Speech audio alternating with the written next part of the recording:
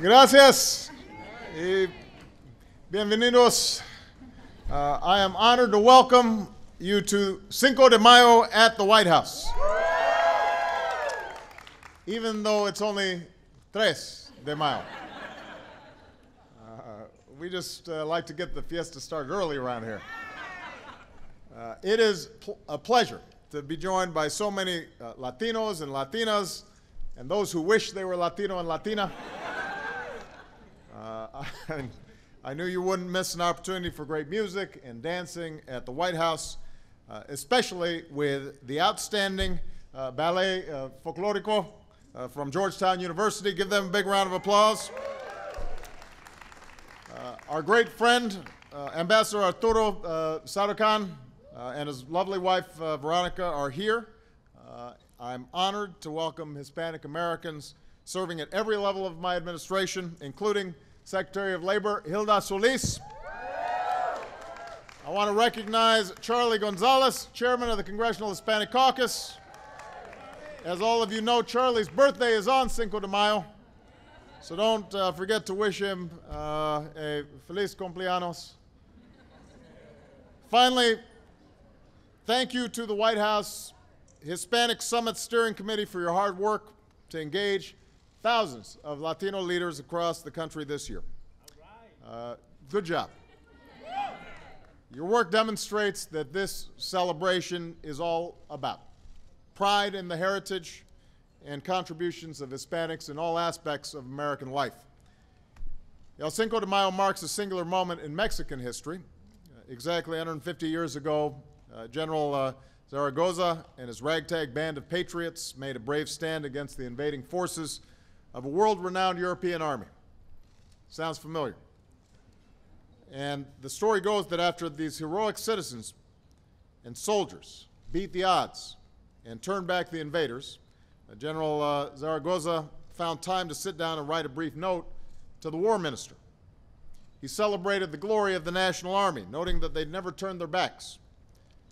And today we honor their valor. When the news of the Mexican victory at Puebla reached this House, uh, this country was in the midst of its own struggles. But soon after, the U.S. lent assistance to help Mexico definitively expel the French from their land. And ever since, the United States and Mexico have lived intersecting and overlapping histories.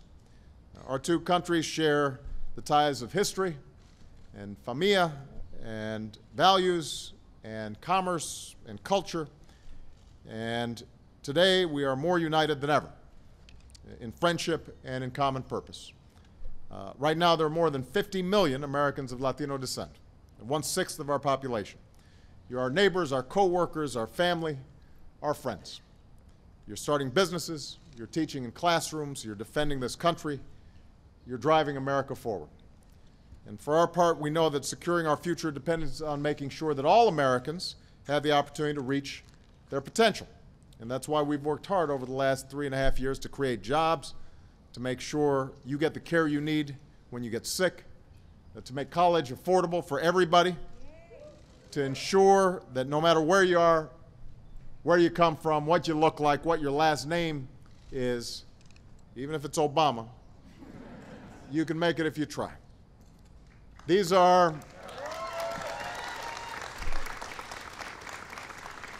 these are victories for Latinos, but they're more importantly victories for America. We could not have come this far without you. Of course, there's still plenty of unfinished business, including fixing our broken immigration system. And it's long past the time that we unleash the promise of all our young people and make the DREAM Act a reality. Uh, a lot of you remember over a year ago, we brought the DREAM Act to a vote in Congress, thanks to the hard work of many of you, and it passed the House, and a majority of votes in the Senate. Uh, unfortunately, we had some on the other side of the aisle uh, that got together and blocked it, but we didn't come this far just to let partisan politics stand in our way. So we're going to keep fighting for this common sense reform, not just because hundreds of thousands of talented young students depend on it, but because ultimately America depends on it. No is not an option. I want to sign the DREAM Act into law. I've got the pens all ready. I'm willing to work with anybody who's serious to get this done and to achieve bipartisan, comprehensive immigration reform that solves this challenge once and for all.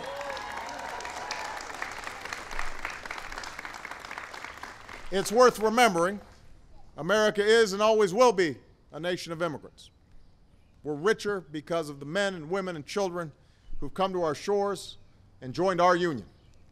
So as we mark Cinco de Mayo on both sides of the border, we pay tribute to our shared heritage and our future partnership. We honor what brings us together. We are mothers and fathers of a great generation. We're going to keep on making sure that our sons and daughters have every opportunity to realize the American dream. That's what drives me every day. That's what I know drives a lot of you, and I look forward for us uh, making future progress together. So with that, let's party. Let's have a good time. Feliz Cinco de Mayo. Thank you, everybody. God bless you.